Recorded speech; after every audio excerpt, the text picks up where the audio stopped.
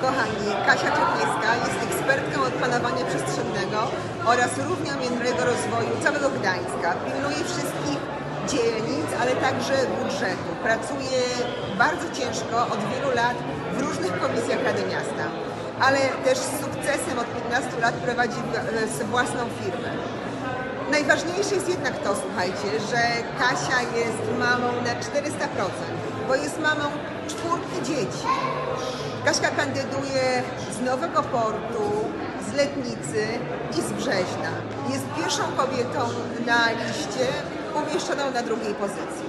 Słuchajcie, potrzeba w Radzie Miasta Gdańska takich kobiet jak Kasia. Ona się już sprawdziła, ona się świetnie organizuje, ona łączy macierzyństwo z pracą zawodową, z aktywnością społeczną. Słuchajcie, oddajcie swój głos na Kaśkę.